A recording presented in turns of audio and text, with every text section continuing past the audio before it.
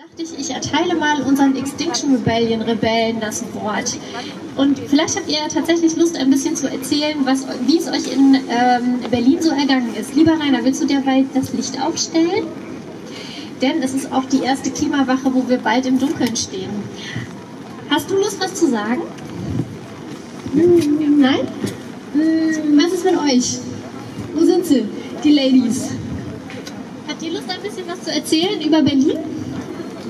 Ihr wart nicht dabei, aber du warst dabei, das weiß ich, weil du warst nicht zu Hause. So, dann, dann schnapp ich mir jetzt einfach meinen, meinen, äh, meinen, lieben, äh, meinen lieben Mann Nils. Du musst dich nicht vorbereiten, um zu erzählen, was du in Berlin erlebt hast. Denn der hat mich zu Hause sitzen lassen und ist nach Berlin gefahren, um auf der Brücke zu sitzen. Ja, Ähm, genau. ziemlich gut beschrieben. Ja. Ja, er, er hat mich gesehen, genau. Wir haben uns gesehen auf der Rückkehr. Also, du, also am Mittwoch hat er mich verlassen ja. und ist äh, losgefahren ähm, nach Berlin. Genau. Wie war es auf der Brücke? Ja, es war gut auf der Brücke. Auf den Den, Brücken. auf dem, ich war tatsächlich auf mehreren. Ähm, genau, ich bin angekommen und war dann direkt auf der Marschallbrücke. Die war zu der Zeit schon besetzt. Das ist die, die falls sich jemand auskennt, die man vom äh, Reichstag aus auch sehen kann. Also die erste Brücke da, ähm, die ist jetzt verkehrstechnisch nicht so mega wichtig gewesen. Darum habe ich da dann auch fast zwei Tage rumgesessen. Oder haben wir da zwei Tage rumgesessen. Durftet ihr sitzen Durften wir bleiben? sitzen bleiben, genau. Nein, es war, es war ähm, toll. Ich fand die Stimmung super, sehr positiv. Es wurde viel gesungen, viel Musik. Es gab ähm, zu essen. Ich glaube dennoch, dass die Message durchaus angekommen ist. Ähm, dass klar geworden ist, ähm, es muss mehr passieren für Klimaschutz, wir müssen mehr tun und ähm, gerade das Klimapaket hat ja gezeigt, dass ähm, trotz Fridays for Future immer noch ein Riesenbedarf ist, Dinge zu tun und insofern ähm, muss man auch an einem bestimmten Punkt sagen, es gehen einem irgendwann die Ideen aus. Nur freitags laufen, wenn selbst das nicht reicht, dann ähm, denkt man, dann macht man sich halt schon Gedanken, was man noch tun kann. Ich glaube schon, dass die Woche gezeigt hat, dass es weitere ähm, mögliche Schritte gibt zu tun und dass auch die Politik weiß, es gibt die. Und es gibt Leute, denen das so wichtig ist, dass sie solche Schritte machen. Dass sie sich auf die Brücke setzen und Ja. zwar auch bei Regen. Also so richtig gemütlich war es ja Haben nicht die ganze gehabt, genau. Ja. Ähm, es ist auch sehr friedlich abgelaufen. Also es ist euch gelungen, eine friedliche Protestwoche zu machen. Was treibt dir ein Lächeln ins Gesicht, wenn du an deine Brückentage denkst? Das ist hauptsächlich tatsächlich Musik. Also es war, war viel Musik auf der Brücke, Leute, die einfach sich spontan zusammengetan haben und dann äh, gespielt haben, andere, die mitgesungen haben, Gesangschöre und so. Das war, das treibt einem Lächeln im Gesicht. Und es waren auch zwischendurch ähm, war, war ein, ähm, eine angemeldete Demo, wo gemeinsam gelaufen sind, wo man irgendwie merkt, da ist eine Energie bei den Leuten, die, die viele wahrscheinlich von den Fridays for Future Demos auch kennen. Da ist irgendwie eine Energie drin und die ähm, gibt mir Hoffnung. Ja. Und was bestimmt dich nachdenklich? Also er ist dann irgendwann Sonntag nach Hause gekommen, sehr und sehr nachdenklich von intensiven Tagen. Was ist es, was so jetzt immer noch nachschwingt? Das ist, das finde ich, schwierig zu sagen. Ähm, es schwingt natürlich nach reichts. Also wenn man das Klimapaket sieht und sieht, da ähm, passiert so wenig, wenn man dann sieht, ähm, ARD Deutschland trennt, vielleicht haben es einige mitgekriegt, da wurde ja gefragt, reicht das Klimapaket oder nicht? Und ich glaube 49 Prozent haben gesagt, es, es ist ausreichend.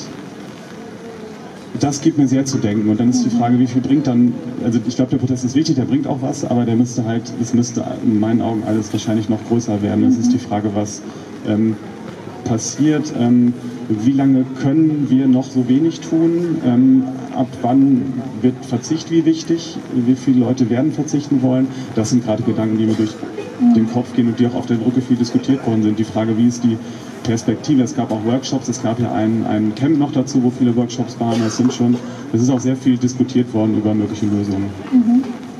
Also tatsächlich, das äh, möchte ich nochmal aufgreifen, dieses Thema, wie groß muss der Protest noch werden, damit es wirklich gehört wird, damit wirklich durchgegriffen wird, auch politisch. Ähm, wir beschäftigen uns heute ganz viel damit, was wir im Alltag tun können mit unseren Kaufentscheidungen. Gleich geht es um Repair-Cafés, was auch etwas ist, was, was, was ganz kleine Schritte sind, was wir machen können, ganz persönlich, aber es zeigt sich doch auch immer wieder, um diese Krise global wirklich in den Griff zu kriegen, geht es nicht ohne ein politisches Commitment ähm, von allen Staaten, die beteiligt sind. Es geht nicht ohne klare politische Rahmen, Rahmenbedingungen für Klimaschutz und das ist immer noch nicht gegeben. Da können wir uns alle mit unseren kleinen Beiträgen im Alltag, die super wichtig sind, trotzdem auf den Kopf stellen, mit den Füßen wackeln.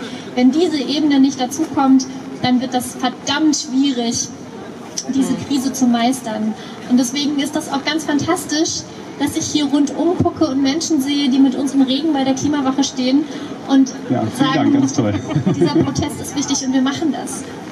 Ich bin gespannt, wie groß die nächsten Proteste werden Mhm, von. Extinction Rebellion. Das war ja jetzt auch ein globaler ähm, Protest in 60 Städten weltweit. Genau. In vielen anderen. Ja. Und es ist auch nicht überall so friedlich gelaufen wie hier, richtig? Ja, genau. In Belgien gab es äh, Wasserwerfer, glaube ich. Ähm, ja, nicht überall. Aber ich glaube, in vielen Ländern ist es schon relativ friedlich gelaufen, weil der Ansatz von Extinction Rebellion ist ja auch grundsätzlich sich ähm, nicht, also sich freundlich mit der Polizei zu stellen, doch ganz klar zu sagen, das ist nicht wir gegen euch, das ist kein, kein, äh, keine klare Grenze. Schon zu sagen, ähm, es ist das System, in dem wir leben, das wir ändern müssen. Das sind nicht einzelne Personen. Und ich glaube, dass, zumindest in Berlin finde ich, ist das auch gut rübergekommen. Also das Verhältnis zur Polizei war da wirklich gut, würde ich sagen. ja. Ja, vielen lieben Dank für deine kleinen Einblicke. Ähm, möchtest du noch was sagen? Besetzt. Wir haben auch ähm, Umweltministerium, Innenministerium, Verkehrsministerium, Ministerium, CDU-Zentrale bei den Grünen, äh, Potsdamer Platz, Siegessäule besetzt. Also an vielen, vielen Stellen in Berlin ist der Klimaprotest sichtbar geworden. Und ich glaube, das ist tatsächlich etwas, was, was diese Woche geschafft hat in der Hauptstadt, dass einfach an vielen Orten Menschen damit überhaupt erstmal konfrontiert wurden. Das ist super wichtig.